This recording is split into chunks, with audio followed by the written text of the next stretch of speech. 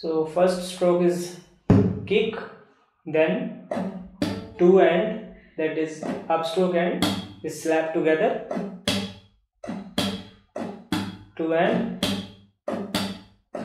then third is with pinky that little finger and fourth is with index finger both are upstrokes so one two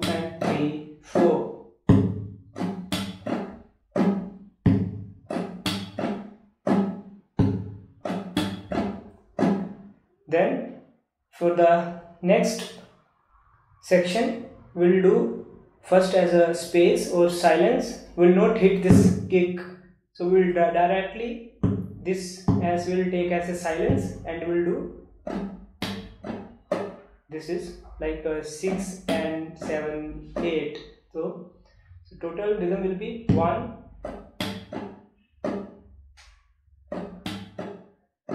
1 2 and 3 4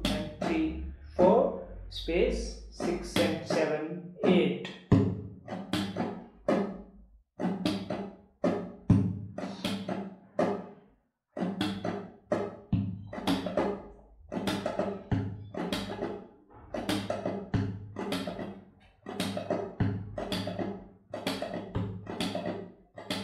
Now we'll play with these chords.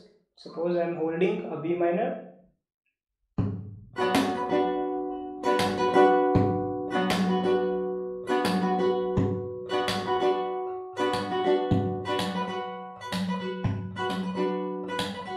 Shifting chords